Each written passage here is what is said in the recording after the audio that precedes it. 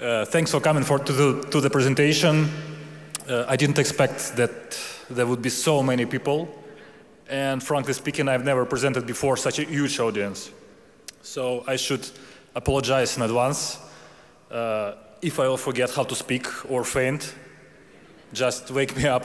I will proceed where, from where I stopped. So the presentation today, the name of the presentation is How an Exiled Pirate Media Outlet Breaks Through the Kremlin's Propaganda Firewall. The long name, uh, pretty straightforward. And today I would like to tell you uh, the story of the pirate media. Uh, the story of the small company that has become the most important, the biggest independent Russian-speaking media outlet that has been blocked, but yet, but still we have millions of readers within Russian borders. Also, I'm going to tell you about the, what actually happens within Russia in regards of uh, censorship. And tell you that Russia has become one of the most uh, technically advanced countries in this regards. Uh, I'll tell you uh, how being such a big pin in the ass of the government, uh, Meduza are still alive. And as a bonus, I'm going to give you our forecast on what's going to happen next in upcoming years. Is it okay with you? Okay. Thanks, guys. So, uh, my name is Alex. I'm head of technical department. I should apologize for the photo of myself. It's the design team who put it there. A um, couple words about myself. I started as a network engineer, and I'm doing IT stuff for almost 18 years already. And I feel like I'm the dumbest person in this conference. The other day I approached some kids because I thought they will be smart at the same level and smart as, as myself, you know, and they told me that they managed to hijack transportation system, you know. and it was like big impact uh, at my ego, so I'm feeling now the dumbest person here. Sorry for that. Couple words about the technical team of Meduza. It's about like 20 person. It's developers, designers, testers, product project people. And normally, before the war in Ukraine, we were focused on the development of our products, mobile application, website, side products, whatever, our infrastructure, podcast distribution, so on and so forth. After the war, since we become, once again, the biggest pin in the ass of the government, uh, we started spending the waste, the best part of our time uh, trying to protect ourselves from attacks and uh, trying to sneak information within Russian Federation. Couple slides about geopolitics. Hope you like it. Uh, this is Russia, if someone doesn't know. Uh, the population of Russia is 133 millions according to Wikipedia. Uh, to give you a comparison, it's pretty much, it's a little bit more than in uh, Mexico and about a half of population of United States of America. Um, I'm asking you to imagine, what if all the population, all the people who live in Russia won't be able to receive information except from the information that delivered by government? Just think about that, I'm not saying something.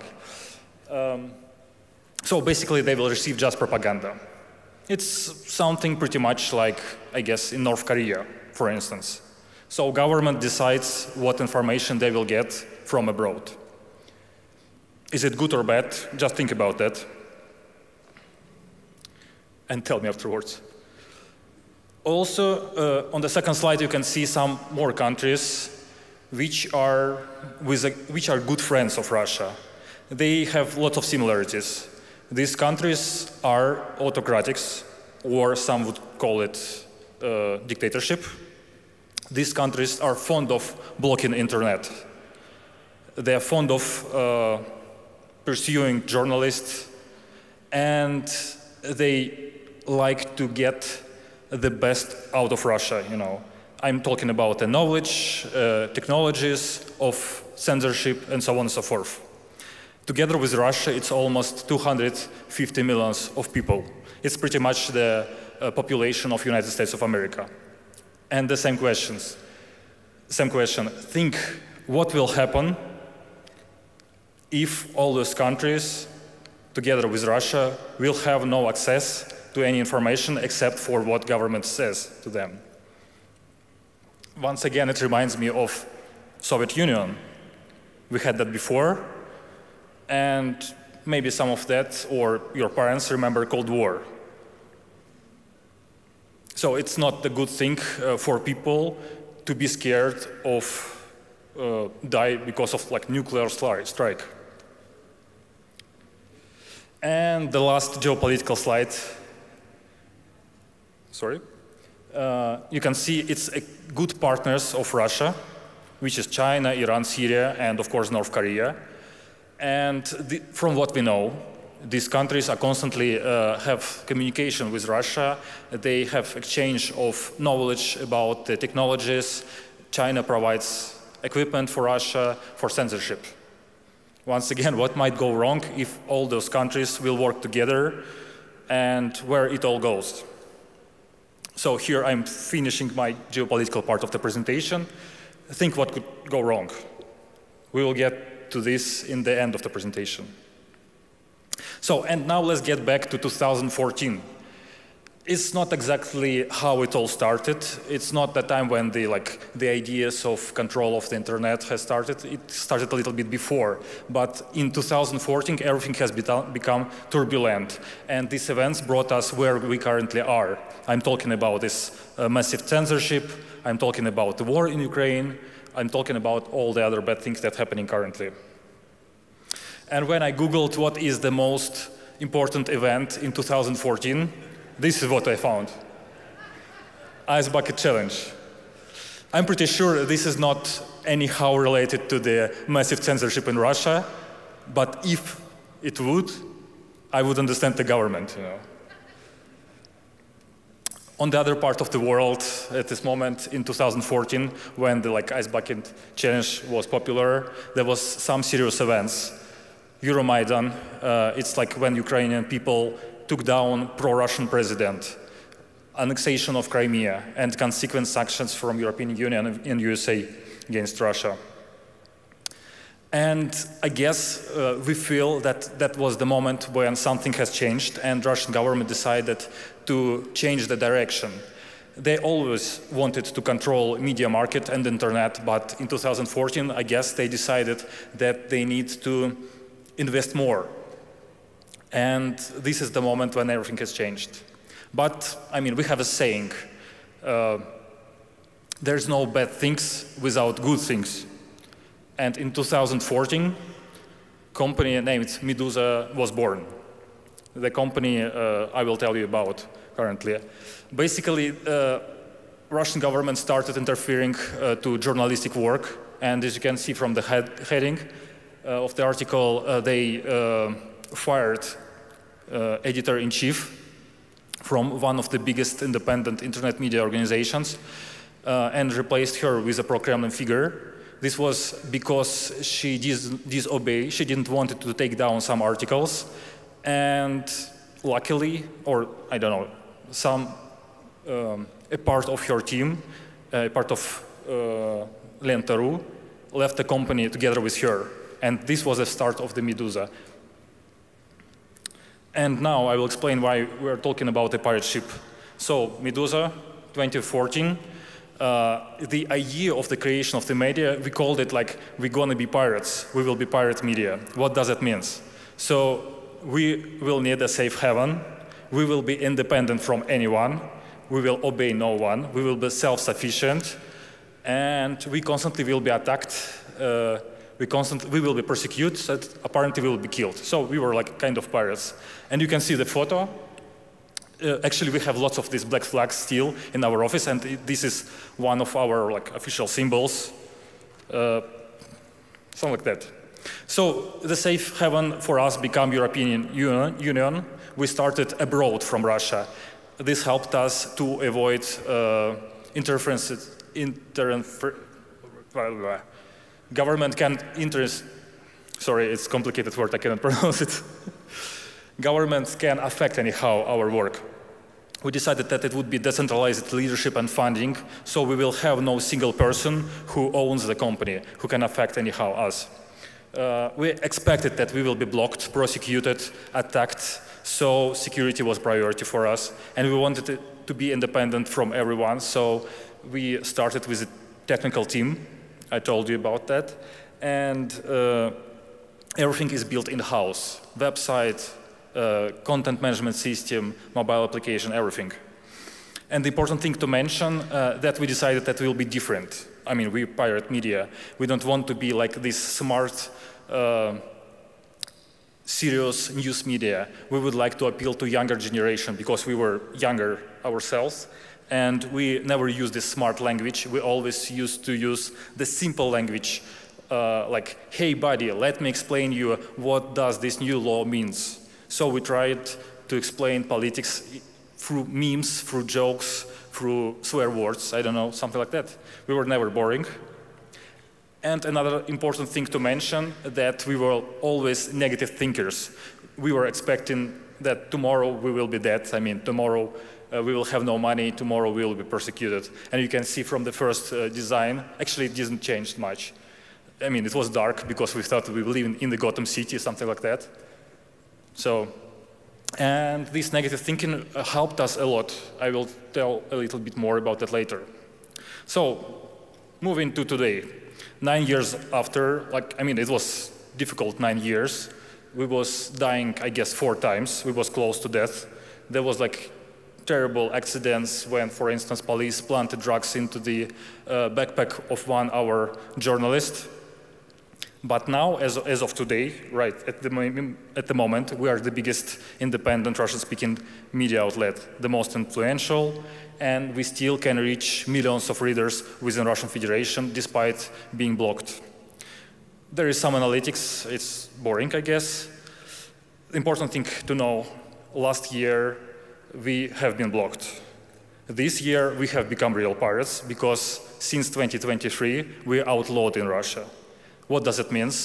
Uh, everyone who works for Meduza will go to jail. Everyone who partners with Meduza will go to jail. Everyone who donates money to Meduza will go to jail. I'm talking about uh, Russian people. So in the meantime, uh, Russia didn't waste time, of course, and Russia was evolving technologically. Uh, this picture, once again, we go back to 2014. this picture actually better explains what was with Russia in 2014 in terms of technologies. I mean, some of you maybe remember these pathetic attempts, how they tried to uh, block Telegram and never succeeded, actually. But by now, they managed to achieve something that seemed impossible back in the day. All the experts, like three, four years, just three, four years ago, all the technical experts were saying that it is not possible uh, to build something similar to Chinese firewall in Russia. But I can tell you, by now they achieved the goal. They managed to install DPI pretty much everywhere.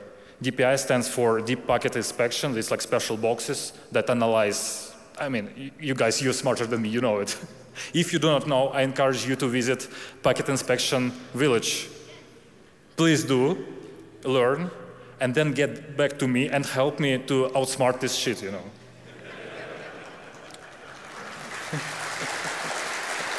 Thanks, guys. Sorry, can I use swear words? Okay. Sorry for that.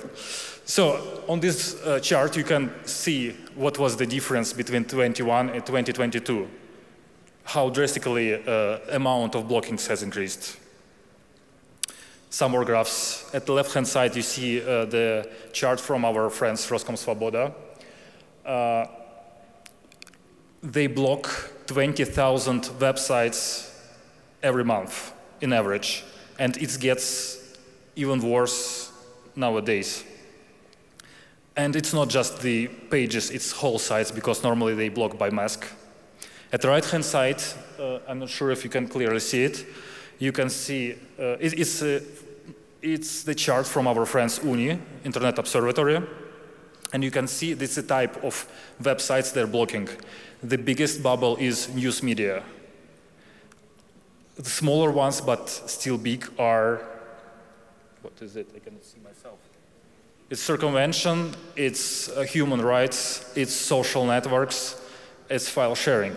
So obviously you can see that they're targeting like freedom of information.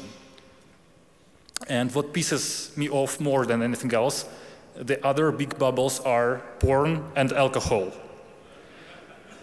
So they took information from us, it was fine.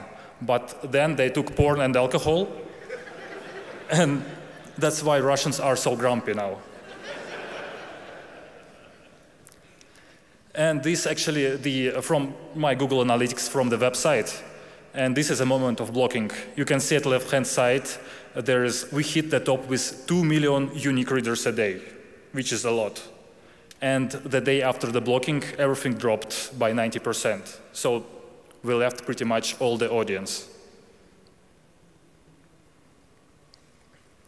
So you are a government. You blocked everything you wanted, all independent media, porn. What's your next step? Circumvention tools. Of course, if you cannot watch porn, you go and find a VPN service to watch porn. They blocked Tor immediately.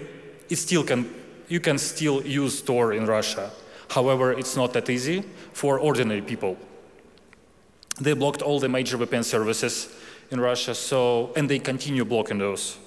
Even those that was called like bulletproof, unblockable VPN services are not working well in Russia now. Uh, they even forbid prom any promotion of VPN service or circumvention tools. If you ever would like to uh, have instruction on your, I don't know, social network, how to set up Tor bridges, you will be fined and you will go to jail. Uh, they even started marketing campaign uh, against VPN services or circumvention tools. You can find in YouTube video when they tell you that VPN services are stealing your personal data. I mean, I mean, they are right, partially. Yeah. So another thing uh, that just happened a week ago, they blocked uh, WireGuard and OpenVPN protocols. So the reason for that is uh, that in Russia have become self-hosted VPN services, and normally they would be based on WireGuard, so they blocked it. A couple words about media space control. It's like quite boring for you, I guess. But the important thing, like one of the weird laws that was issued just a couple weeks ago, uh, they obliged all the uh, recommendation services, news services, to disclose to government their algorithms. How smart, it's, how evil smart is that, you know? So obviously they will use this algorithm to make sure that people get in propaganda.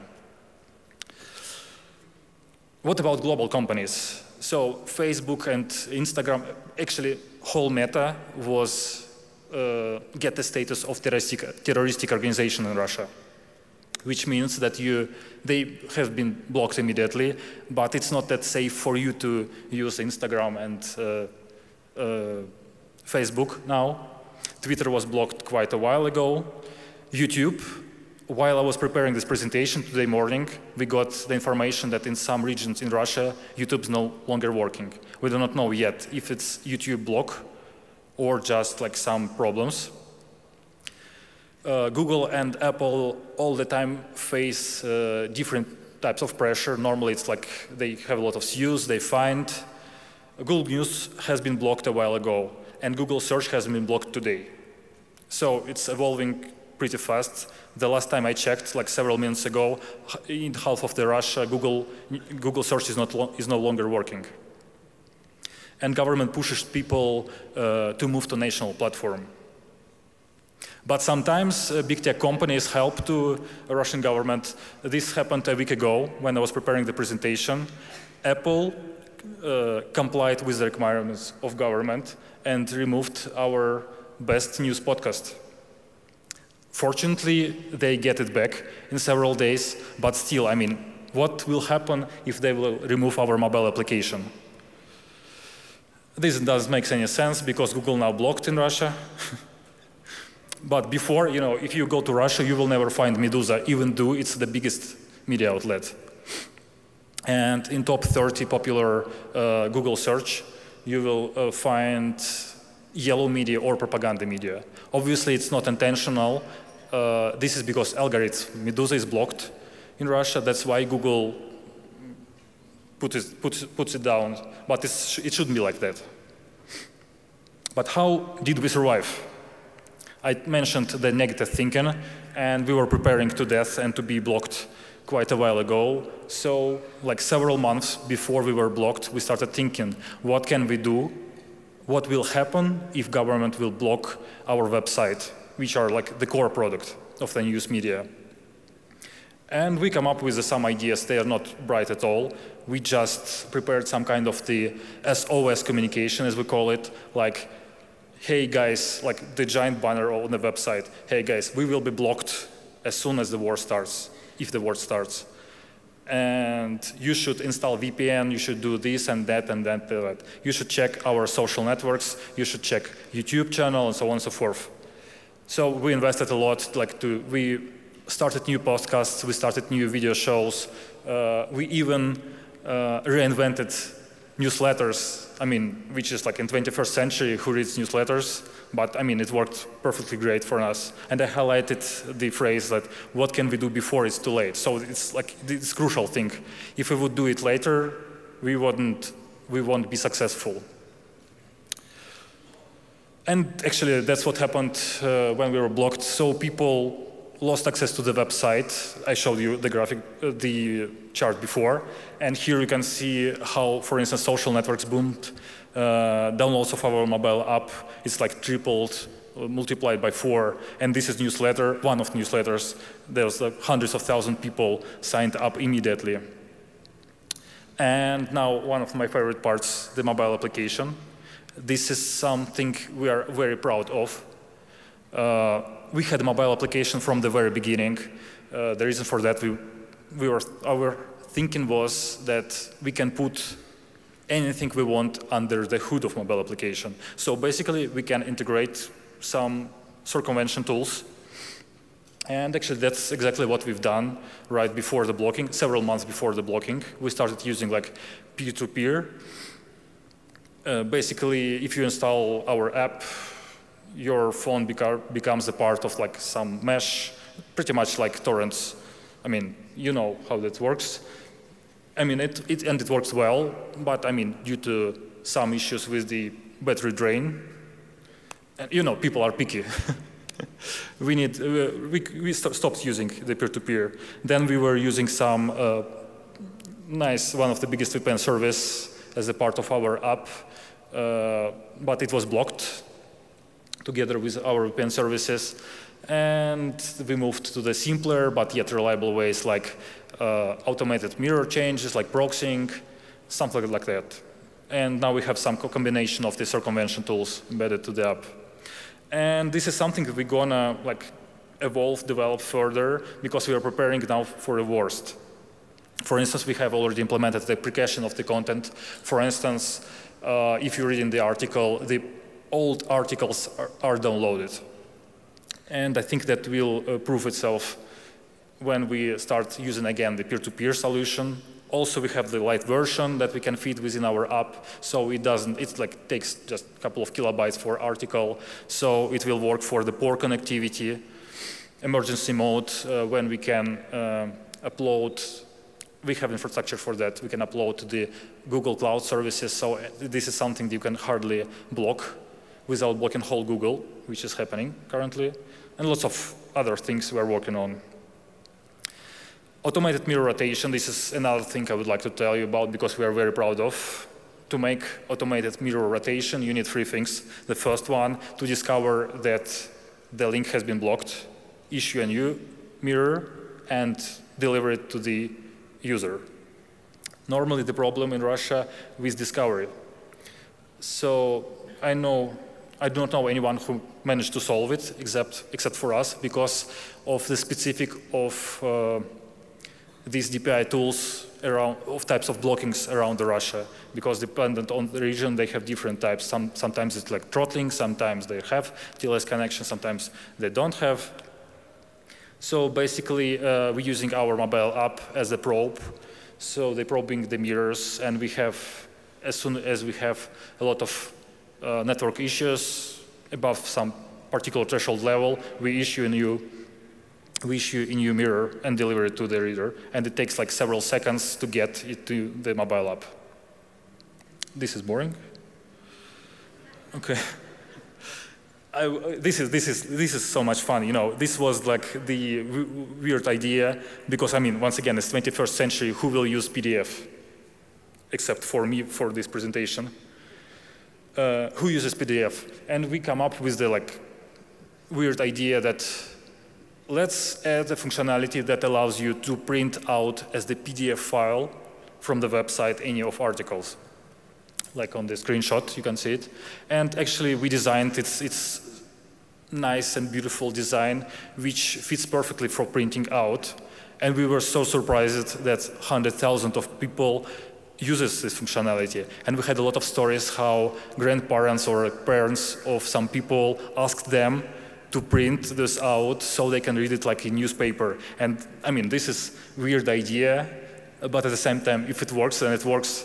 I mean, it's better than people reading Meduza and they understand that anything they get from the government is a propaganda. Yeah, our key idea that we never stop looking for new paths. We're always trying to find some these weird strange ideas to find the ways how to sneak in information to Russia, to people. Like we have Instagram story generator, we have, uh, we're using instant view from Telegram. It's actually, it's the nice thing. Whenever you send Meduza's link to somewhere through Telegram, uh, you will see instant view. You just click it and you will open article within the Telegram. And even if the site blocked, it will be the full article.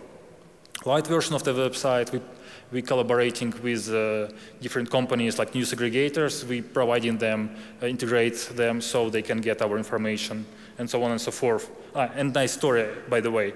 Uh, there was a guy in Russia who had a radio retranslator and he was just broadcasting through the radio our podcasts. Something like that. I mean, if that works, then it works. So what's the bottom line? How much time do I have? Uh, what's the bottom line? Uh, I mean, we are this relatively small company, and obviously we don't have those resources as uh, Russian government has. We don't have like so much money. We don't have. We have a small team, small technical team, but uh, we are inventive, weird, and we are creative, and we have a goodwill. So like, and we truly believe in the freedom of information. So people tend to help us, which was surprising for me. And that's why actually I'm here, because uh, what I've from what I've noticed, here are the most like brightest people, the smartest people I ever saw in whole my life. And if you have experience, any experience in circumvention tools, if you have experience in packet inspections, if you know technologies, please reach me out. If there are people from the big, big tech companies, please reach me out. Uh, we need your help. If uh, is there anyone who works for Russian government? yeah, so please reach me out. I have some questions, you know. You, you need uh, explain me what is going on. so we are open for any collaboration. Any kind of support will do, like resources, knowledge, funding, whatever. Or if you like us, you know, just, or if you never read Meduza, and never heard of Meduza, go and check the website at the bottom, like meduza.io slash en. We have English version.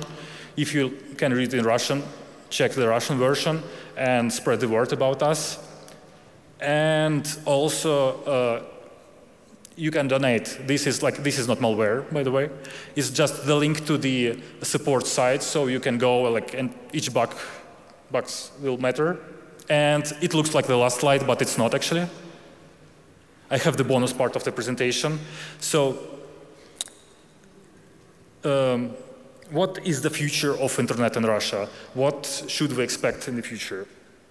As we see from today's presentation, uh, just today they blocked Google, and this is what's going to happen in upcoming days, months, I guess, uh, all the global services that are not complying with uh, Russian requirements, Russian government requirements, will be replaced by Russian services. And this is something that already going on. We can see it. We can see that like Google uh, Chrome is not the most pop popular browser anymore. Uh, circumvention tools will be available only for advanced, uh, technical advanced users. I explained to you before. Uh, from what we know from the leaks, they starting massively using AI tools, and that helps them to faster discover and block the content, including especially audiovisual content. Normally, we used to say that podcasts are below the radars. It's not the case anymore. Uh, we expect they, that will, they will start blocking mirrors in a faster way because like a month ago they were blocking once per month. Now they're blocking three times a day. If they will block us like 10 times a day, we can do nothing with that and sovereign internet and separation Russian people from outer world, this is something that's going to happen very, very soon. So, like, my, uh, you guys, you can read Russian. this is how we imagine Russian internet within, what will happen with Russian internet within one year from now on. So, I mean, my uh, forecast would be that less than a year before each and every Russian will be isolated from outer information. And we're getting back to my geopolitical slide. So, I mean, we are negative thinkers, and this is last slide, by the way. We are the negative thinkers, and I mean, we have the terrible forecasts that these, these countries, this part of the world, soon become, at least Russia, will become some kind of the North Korea. I mean, yes, this looks like the world collapses for us because we're negative thinkers, but I tell you, you know, we did already, I don't know, we're doing this forecast like four years in a row, and the worst scenario are usually uh, the most realistic scenario. And it's pretty accurate. And this was definitely will happen. Within one year, we will have Russia separated from outer world. Within several years, we will have Russia plus uh, CIS, some CIS countries, and just think of what could happen if those countries will collaborate together. But uh, I'm optimistic here. Uh, I mean, I understand that Meduza, only Meduza cannot, can do nothing with that, but I'm optimistic here because there are so many people who believe uh, in freedom of information, uh, to freedom of speech, uh, so many bright people around. And another thing, we are goodies, definitely. I'm pretty sure about that. So I think that we'll figure it out somehow, and the future will prevail. And I guess that's it.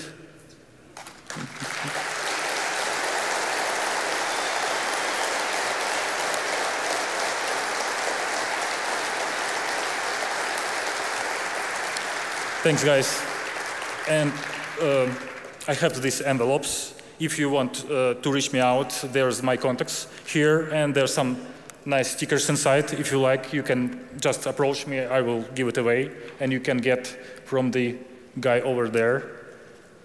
So thank you so much.